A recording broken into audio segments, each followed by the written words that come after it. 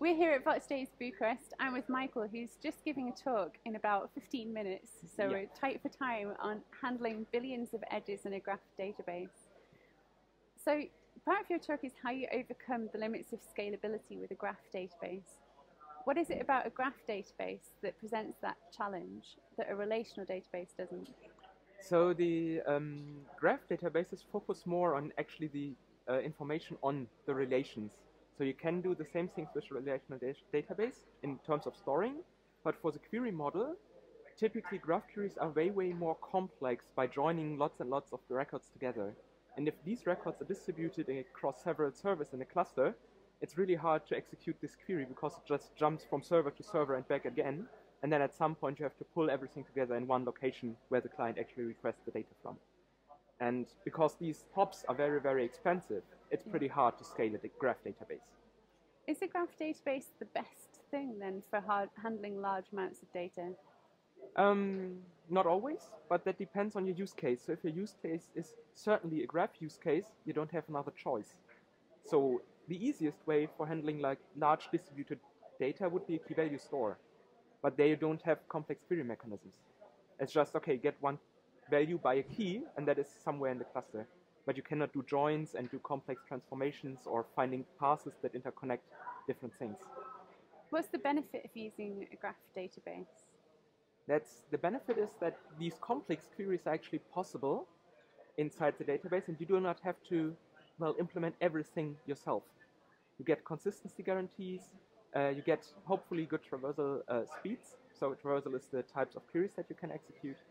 Um, and graph queries or graph algorithms are typically rather complex. So if you want to implement them yourselves, would be a lot of effort. If the database does that for you, it's better for you if you want to use them in your application. When you're um, thinking about how to overcome the limits of scalability, is there anything you can do? Can you? Is there a way to? So you talked about queries having to go from one area to another and Yeah. maybe moving across clusters. Yeah. How, what do you do? What's your strategy?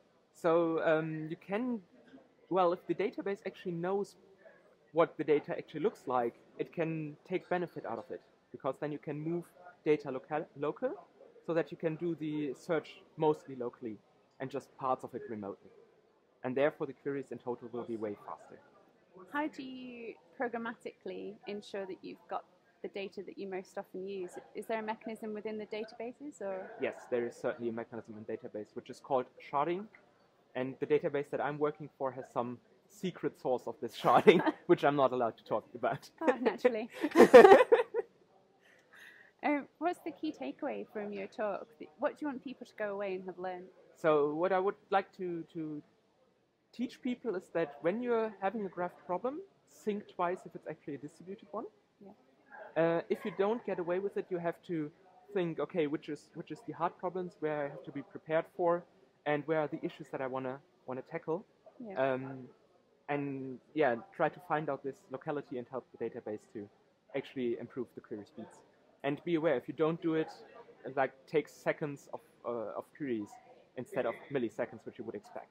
Which can be fatal in some systems. Yes, of course. Especially if you think, okay, I have one second to load this entire page, and I have to do a 20 second gra- graph database query behind it, then it doesn't work out. Yeah. Are you? Um, what's the most interesting question you've been asked? You gave this talk uh, last week at Bristol. Yeah. So the most interesting question is the one that I can't answer. How do we do it? Oh right. Okay. yeah. Oh, maybe Yeah. that's for another. Maybe that's for another interview. yeah. um, yeah, but um, also it's um, always what, what are the real use cases for graph databases because a lot of people that just can't imagine Yeah. where graph databases are in use, and actually the use cases get more and more and more and more important. So Facebook, for example, social graphs, they don't do it with a graph database for certain reasons, but actually the data that they have is a graph. They could do it in a graph database. And presumably that's to do with um, clustering groups of Yes. people. Yes, of course. So that for Facebook, for example, it would be a good idea to group all these people that are tightly connected, those are friends, and then you have these queries all local. Well, good luck in your talk. Thank you. Thank you very much. You're welcome.